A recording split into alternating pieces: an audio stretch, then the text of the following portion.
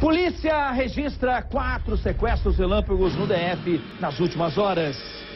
Agora eu quero ver, hein, Jesuíno? Agora eu quero ver. Cadê a polícia, Jesuíno?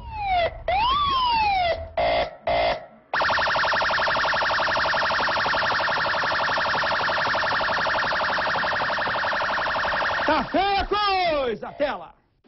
Setor de oficinas do Guará, duas da tarde. Estacionamento de um shopping. Dois desconhecidos abordam um cliente. Ele foi colocado no banco de trás do carro. Os bandidos só libertaram a vítima horas depois. Quadra 410, Asa Sul. Aqui um morador chegava em casa por volta de 10 horas da noite.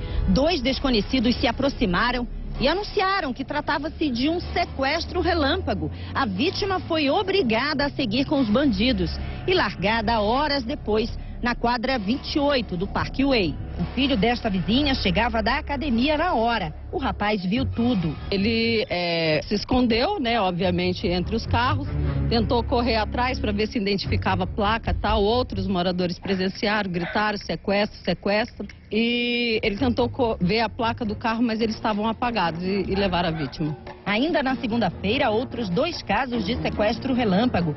Parque da cidade, mais uma vez, foi cenário. O quarto foi registrado em Ceilândia. Na semana passada, foram nove registros do mesmo crime, quatro só na Asa Sul. Os moradores andam com medo, têm mudado os hábitos, se unem para tentar combater novos casos. Mas a situação parece não mudar. Há dez dias atrás, com uma colega nossa, e, e agora esse que houve hoje, e a segurança não está sendo feita, entendeu? E a gente precisa de uma segurança.